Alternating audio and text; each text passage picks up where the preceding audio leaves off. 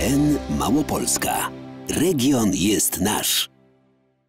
To już kwadrans po ósmej. Mamy wtorek i mamy gościa w studio w programie na żywo. Tadeusz Kwiatkowski, starosta powiatu dąbrowskiego. Dzień dobry, panie starosto. Dzień dobry, pani redaktor. Dzień dobry państwu. Od poważnych bardzo spraw y, zaczynamy, bo akurat taki jest moment, że na Powiślu ich po prostu nie brakuje w tym momencie. Obwodnica, duże problemy finansowe wykonawcy, to już wiemy. Pustki na placu budowy.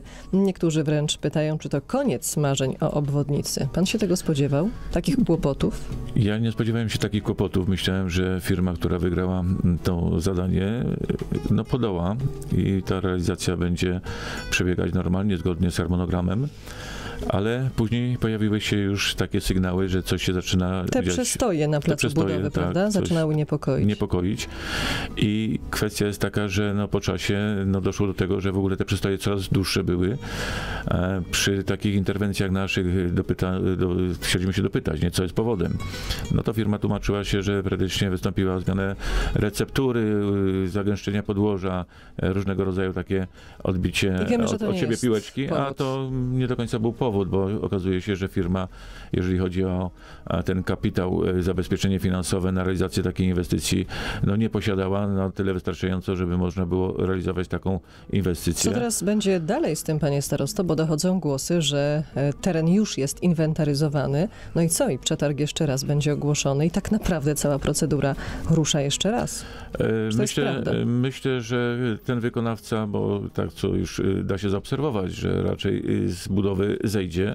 E, Wtedy Generalna Dyrekcja Dróg e, Podobno w Krajowych i kraju go już nie ma.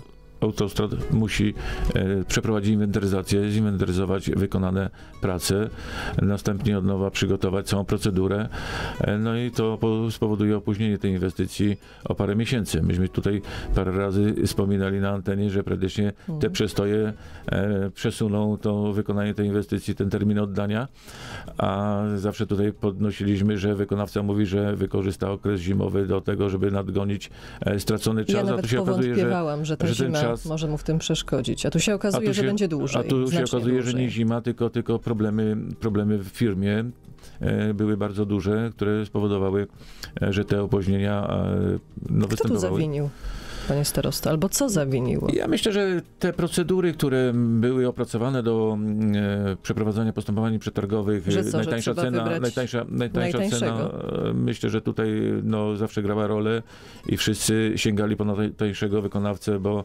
zawsze to było takie bezpieczne, że najtańszy nikt nikomu nie zarzuci, że, że wybrał kogoś drugiego czy trzeciego z kolei i dlatego tutaj są te e, właśnie później problemy na wykonawstwie, bo jeżeli ktoś daje taką cenę e, dość, dość mocno zaniżoną, no to jest, y, no daje to też do myślenia. To co, jest panie starosto, most w Borusowej będzie szybciej? Myślę, że tak, mo- most Borusowej, y, y, przetarg jest ogłoszony, e, składanie ofert jest do 19 października i tam czytamy, że tam jest termin wykonania tego mostu 30 października 2020 rok. Może, albo może się zbiegnąć razem oddanie dwóch inwestycji, obwodnicy, obwodnicy Dąbrowy Tarnowskiej. Pan powiedział, że wskutek tych problemów, o których teraz mówimy, opóźnienie będzie wynosiło kilka miesięcy. Ja myślę, że jest pan optymistą, mówiąc w ten sposób. To może być dłużej. Ja myślę, że, że, że, że jeżeli by to tak wszystko poszło sprawnie i, i praktycznie e, Generalna Dyrekcja przystąpiła szybko do inwentaryzacji, przygotowania nowej procedury e, przetargowej, to myślę, że, e, że parę miesięcy, e, myślę, że tutaj by się udało to wszystko zorganizować w parę miesięcy i ten przetarg przeprowadzić od nowa.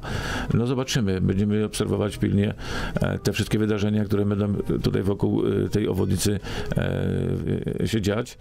Myślę, że tutaj jeżeli e, trzeba będzie, to też będziemy się starać e, no, e, interweniować e, w tej sprawie, żeby jednak e, te procedury wszystkie były przyspieszone. Cieszą się mieszkańcy, że most w Podborzu jest podobno odebrany technicznie już, bo takie informacje do radia też docierają, bo tam też nie obyło się bez kłopotów.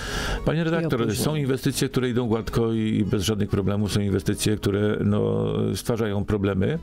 A To nie jest jakaś czarna seria Powiśla? E, Nie, myślę, że nie. Ta inwestycja inwestycja troszeczkę nam sprawiała y, problemów, ale została wykonana y, i jest y, inwestycja oddana, mieszkańcy korzystają z mostu.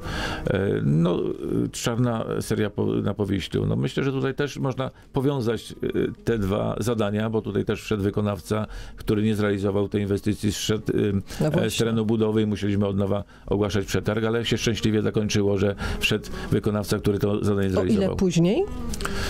No pół roku. To sporo. Sporo.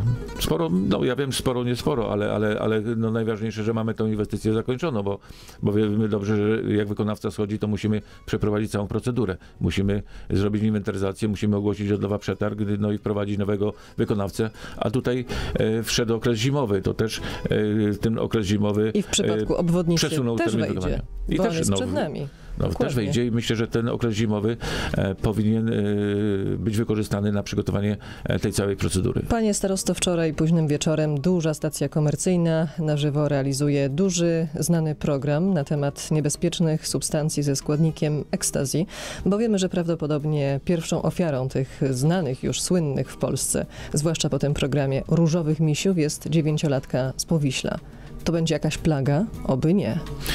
Myślę, że nie, że tutaj praktycznie podejmiemy, pod, myśmy już No wcześniej właśnie, co na to podejmowali. samorząd? Czy są jakieś w ogóle myśmy, działania? myśmy już reakcje? wcześniej podejmowali różnego rodzaju działania.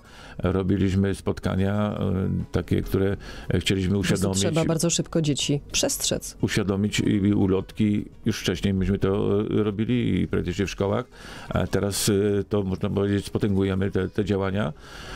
Też tutaj się mocno włącza Komenda Powiatowa Policji w Dąbrowie Tarnowskiej, Sanepid, Powiatowe Centrum Pomocy Rodzinie, e, już e, u mnie Wydział e, Promocji tak samo e, dość mocno od dawna działa e, w tym kierunku uświadamiania o dopalaczach, o narkotykach. Myślę, że tutaj kwestia jest taka, że no musimy z tą prewencją dotrzeć bardzo szeroko i musimy Róbcie tę coś, informację przekazać. bo ofiarami jest to zaczynają niebezpieczne, być no, jest dzieci. to Panie starosto, niebezpieczne. skąd ta dziewięciolatka mogła mieć? Trudno mi powiedzieć praktycznie, no, z tego co, z tej informacji, ekstazy. którą też wczoraj oglądałem e, uwagę, e, ten e, program telewizyjny, e, no to tam było podnoszone, że jakiś e, mężczyzna e, częstował, częstował dzieci. No jeżeli tak to się odbywało, no myślę, że tutaj trzeba zwiększyć czujność i trzeba, też i rodzice muszą tą czujność, i rodzice, dziadkowie, babcie muszą tą, zwiększyć tą czujność, żeby praktycznie, jeżeli ktoś obcy próbuje podchodzić do dzieci, częstować jakimkolwiek słodyczami, czy to są słodycze, czy inne rzeczy, no to należy podejmować działania. Panie starosto, no i jeszcze pytanie o służbę zdrowia. Badamy temat w Tarnowie, w regionie, no i pytam o Dąbrowę Tarnowską. Jak się sprawdza, zwłaszcza ta opieka całodobowa i świąteczna prowadzona w Dąbrowskim Szpitalu? Te pierwsze dni. Panie redaktor, y, Dąbrowski Szpital już od dawna prowadzi całodobową opiekę, także myśmy Wam to się tutaj... kompletnie nic nie zmieniło, Nic nam, się, nic nam się nie, nie zmieniło. E, Szpital jest w sieci. E, Mamy kontrakty podpisane na fizjoterapię, na rehabilitację dzienną. Jest pan Także zadowolony? ja jestem zadowolony, oby, oby praktycznie e, wszystko e, tak dobrze w tym kierunku szło.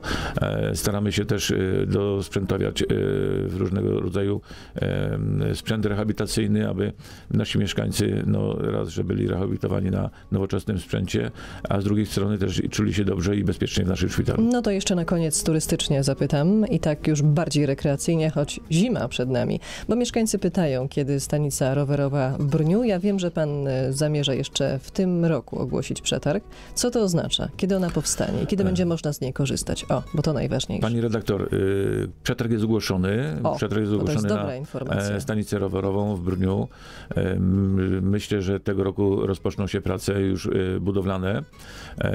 Mimo jeżeli- zimy?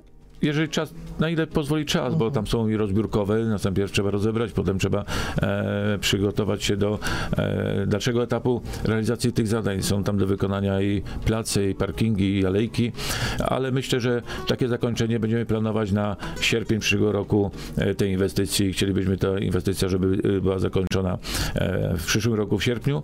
Jest to inwestycja, inwestycja rzędu ponad 2,5 miliona złotych i myślę, że tutaj Tu jest duży zakres prac. duży zakres prac i dlatego, dlatego dlatego no, ten czas też musi być troszeczkę e, dłuższy na wykonanie tych zadań. Tadeusz Kwiatkowski, starosta powiatu dąbrowskiego, z nami we wtorek w programie na żywo w studio RDN Małopolska w Tarnowie przy Bema 14. Proszę bezpiecznie wracać do siebie, do Dąbrowy, bo deszcz pada. To będzie trudniej, ślisko na drogach.